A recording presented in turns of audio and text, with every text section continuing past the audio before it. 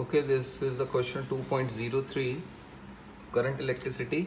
Uh, इस question में given है थ्री रेजिस्टर्स हैं one ohm two ohm and three ohm combined in series ये वैसे प्लस टू का क्वेश्चन है लेकिन है थोड़ा टेंथ जैसा ही। देखो ये one two three combined in series what is the total resistance of the combination ये दोनों तीनों सीरीज़ में लगे हैं तो इसका सोल्यूशन तो देखो ये तो कोई बच्चा भी कर लेगा। भाई तीनों ये अगर सीरीज़ में लगे हैं तो आर जो इक्वलेंट होता है वो कितना होता है? R one plus R two plus R three यानी ये तीनों सीरीज़ में है। यानी जो फ़र्स्ट पार्ट का आंसर है, वो हम वैसे ही बोल सकते हैं भाई one plus two plus three यानी सिक्स ओम आ गया। One plus two plus three यानी फ़र्स्ट पार्ट का जो आंसर है, ये हमारा डायरेक्ट आ गया। दिस इज़ सिक्स ओम ठीक है? इसको हम यहीं छोड़ते हैं। अब जो second part if the combination is connected to the battery of 12 volt 12 volt से हमने कनेक्ट कर दिया। है जिसकी इंटरनल रेजिस्टेंस गिवन नहीं है तो obtain potential drop across each resistance हमने सबके अक्रॉस पोटेंशियल ड्रॉप फाइंड करना है।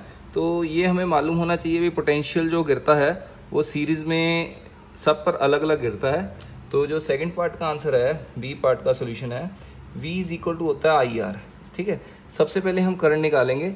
जो नेट वोल्टेज दी है इसने सर्किट की, वो हमें गिवन दी रखी है 12 वोल्ट ठीक है? 12 वोल्ट की बैटरी है। तो ये तीन रेजिस्टेंस जिसका रेजिस्टेंस मिलकर कितना हो गया? सिक्स ओम तो पहले हम करंट निकालते हैं V equal to I R से। तो वी कितना है? ट्वेल्व है। आई हमने निकालना है।